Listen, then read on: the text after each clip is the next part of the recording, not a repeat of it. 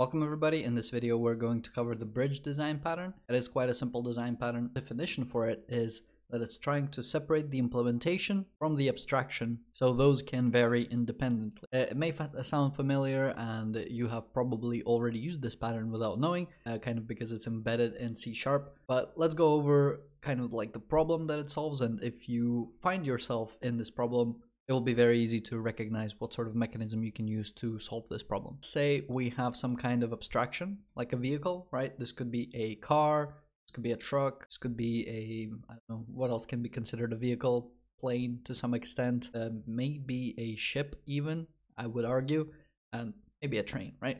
So there could be many vehicles, uh, transportation, uh, whatever abstract class that you can think of. In our case, I'm just thinking in terms of cars and trucks. Those are different. They require different licenses to actually drive them, right? You need to have special license in order to drive the truck. You are you have less field of vision, so you need to know more and be aware of more. Anyway, this is not a lesson on how to drive cars and trucks. I don't drive. Right, so we have a top level abstraction, which is a vehicle. Then we have Lada or Volvo, right? Which is an implementation of the vehicle, right? So somebody took a vehicle and they've gone ahead and implemented it. And now we have a lower level abstraction of the vehicle. So we take the vehicle and we turn it into a car or we turn it into a truck and any other examples that I mentioned at the beginning of the video. This is where we are gonna have essentially an exponential effect. If we try to add one more make, we get two more classes.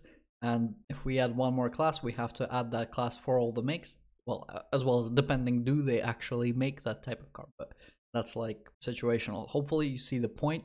We don't have like a linear one-to-one scaling. This indicates that the solution is not scalable. Let's say you need to implement one change and a thousand different things have to change. Uh, that's not scalable it's not maintainable etc and if we try to you know reshuffle the things we are going to end up at the same place. So we have a vehicle we extend it into the lower level abstraction into a car and a truck and uh, again, when we try to implement the Ladas and the Volvos, that's when again we get multiples of classes and we get this class explosion, right? So amount of code increases, your code base becomes harder to understand. Uh, how do we solve this? This is where a little bit of sprinkle of indirection comes in. This is where we basically we just take the vehicle and we stick the make inside the, the abstraction. So the abstraction now essentially has a pointer to the implementation, right?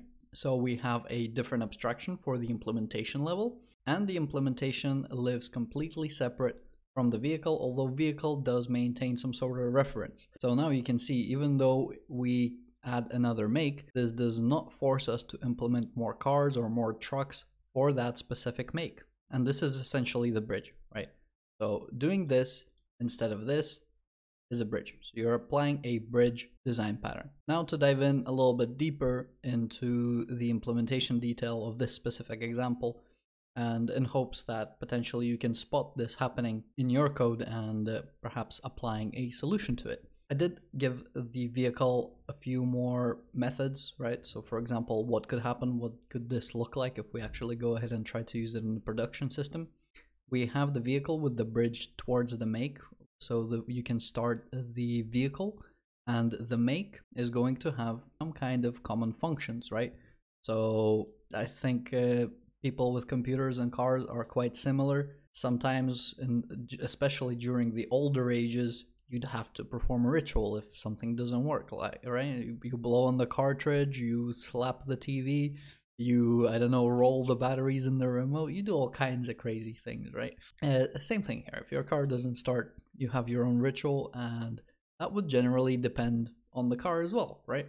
We have the vehicle and in order to start it, we perform a ritual and we start the car. And then I also have an abstract class. Are you allowed to drive the vehicle? And uh, we would have the implementation first in Lada for the make. This is where we would perform the ritual um, or to like hit the car. And starting the car, is not not a trivial thing. Uh, I don't know two things about Lada, so I'm just imagining it. Imagining it. Anyway, um, then we have the Volvo.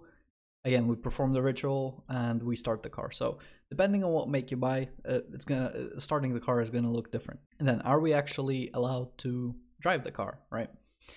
Uh, we have the car where you have a license, car license. Yeah, good. All right, cool. Uh, truck. Do you have a special truck license? Do you? And uh, whatever logic that is pull user from database pull license from license provider database uh, check user age against or check uh, record of whatever. Hopefully you can kind of see where that is going to go. The point that i'm trying to make is this is already the implementation with the bridge design pattern in mind. Imagine if this wasn't a bridge what would happen essentially you would get the braiding effect or like the complexity effect where you have railroads. So if we imagine the make is going down one railroad, and then we imagine the car abstraction having the other railroad, right? So you have two railroads and they're not intertwining, right? So they're you don't get complexity because they're not braiding. Okay, so when things are jammed together, that's where you get complexity. That's when things get hard and you have to dig around. We would have complexity when we're intertwining classes, and every time we would implement the Lada or the Volvo, we would also have to bring the relevant method, right? So there would be a level of duplication here, where on our Lada car and Volvo car, we would have to, on both of them, implement the has license method and the same thing for the truck. It would have two functions. This is a place where you would perhaps try to create a vehicle helper and uh, it would uh, you, that way you would take the same operation from two places and kind of put it onto, uh, under one roof. And at that point, you may feel like you've solved the problem by adding a helper class and uh, removing duplication that way. And there's a fine grained difference between being able to solve it with a pattern being able to see a pattern like this, or having a utility class like the helper. And in general, helper classes, I would try to avoid them as much as possible. There is probably a more well-known pattern that is in there in instead of the helper class. So just be cautious there. If you're creating helper classes, you are probably dodging some kind of valid design pattern. So give that another thought. But nevertheless, this is one type of way that you could implement this. The other way that C Sharp actually provides you in the real world example are generics, right? Really simple. Here we'll have your abstraction going one way, list, I collection, I enumerable, list, I collection, I enumerable, I read only collection, span. There, there is tons of tons of these collection classes. And the actual implementation, integer, string. Don't know why I said it the, this the other way. String, integer. You don't get string list. You don't get integer lists.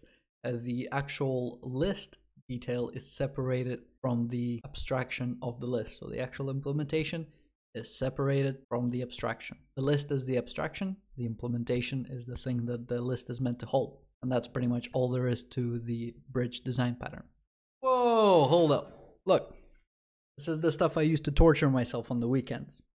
Now, it takes time to digest this and package it up into these videos. So if you did enjoy the content, please like, subscribe if you want to see more, uh, leave a comment if you have any questions, and if you want to be part of the community that I'm building, make sure to join my Discord server. I also stream on Twitch Wednesdays and Sundays, 6 o'clock London time. I have also opened up a merch store, so if you do want to support me, don't just donate, buy from there. Links to all of that and my other social media are in the description. Hope to see you again and have a good day.